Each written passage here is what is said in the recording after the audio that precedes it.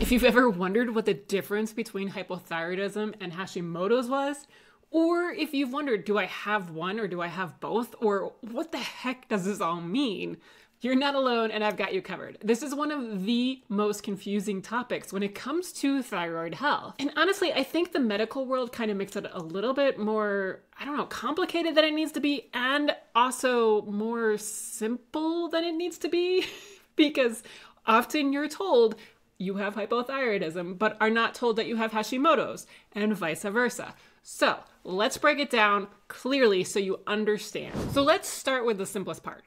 Hypothyroidism means that you have low thyroid function, that your thyroid isn't making enough hormone or that your body's not using the hormone properly. So, hypothyroidism is the state that your body is in. It's like a phone. If it's at 5%, it's basically hypothyroid at that point. It's just not having enough going out. So, hypothyroidism is just describing the result. Your metabolism is slower, your energy is lower, your digestion is sluggish, your brain feels foggy, and your body's operating on low power mode. But the important part here is that hypothyroidism doesn't tell you why your thyroid is not producing enough hormone. It can be for several reasons.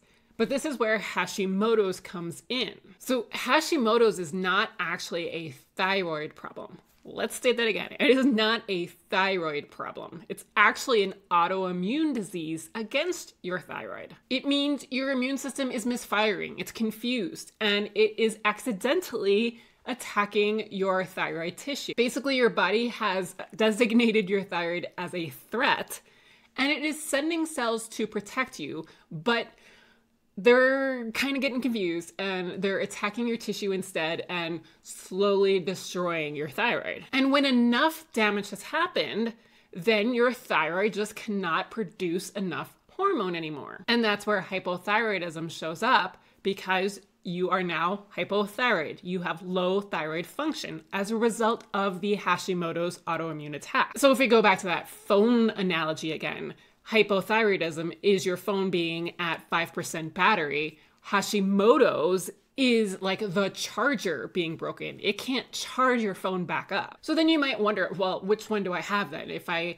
was told by my doctor that I have hypothyroidism and he never mentioned anything about Hashimoto's, well, you're not alone because most doctors don't mention this. They may say it's autoimmune, but most doctors don't test for Hashimoto's, and it doesn't change what they do as a treatment anyway.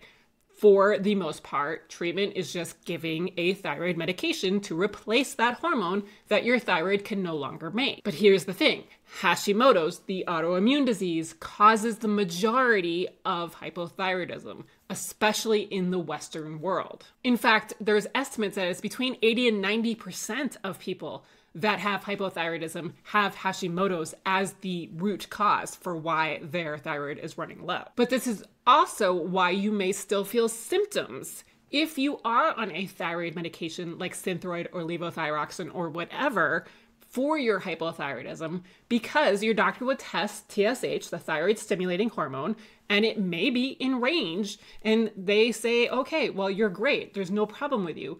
However, the medication does nothing to stop the autoimmune attack against your thyroid. All it's doing is replacing the hormone that your thyroid can no longer make. So that's why you may still feel that fatigue and losing your hair and you can't seem to lose weight or you're gaining weight and all of these other symptoms and things like anxiety and all that kind of stuff that comes with hypothyroidism and Hashimoto's because we're talking about two totally different things.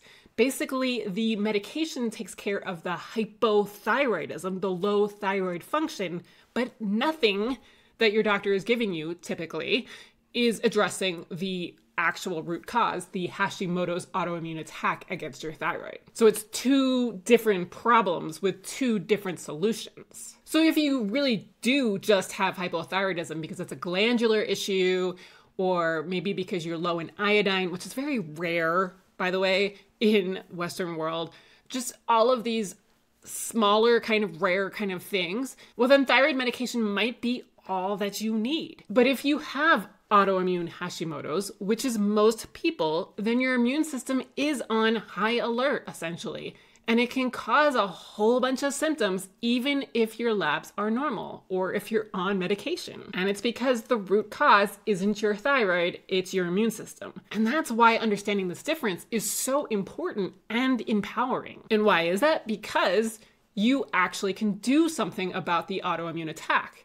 If you are still suffering symptoms despite being on medication or told that your labs are normal or whatever, you don't have to just turn over and think that your life is over. You have options. Basically, you have two goals. One is to support your thyroid hormone levels, so you may still need medication. I have to take medication because enough of my thyroid was attacked during the autoimmune attack when I didn't know that I had this.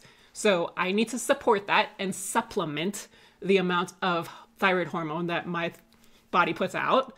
And then your other goal is to calm the autoimmune activity. Stop the autoimmune attack against your thyroid. This is where things like gut healing, elimination and reintroduction protocols, reducing inflammation, removing hidden triggers, blood sugar balance, stress and nervous system regulation, sleep, reducing toxin load, somatic practices, and emotional support become incredibly important. Your immune system basically lives in your gut and it listens to your nervous system. So that's why diet and lifestyle changes can feel like a night and day difference for somebody living with Hashimoto's. It's not just about food, it's about producing and creating an environment where your body and your nervous system feel safe living in the everyday world. So here's a simple way to remember it.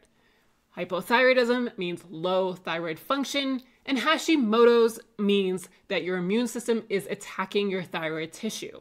Hashimoto's causes hypothyroidism for most people, especially in the Western world, but medication only helps the thyroid hormone part, not the autoimmune attack. And this is why so many symptoms continue. If this all makes sense to you and you really want the quick, I need to fix all of this now, I walk you through how to do this in my program, the Full Body Health Reboot. I'll put a link for that below.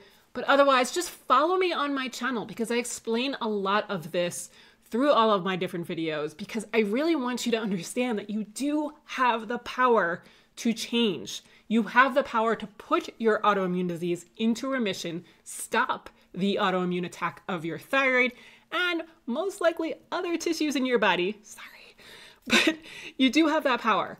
And then that will, by doing that, helps to stop the symptoms as well. And if you're interested in seeing this in action, watch this video because I talk about how I've done this myself and how it's been seven years since I've had any sort of symptoms or anything from my Hashimoto's.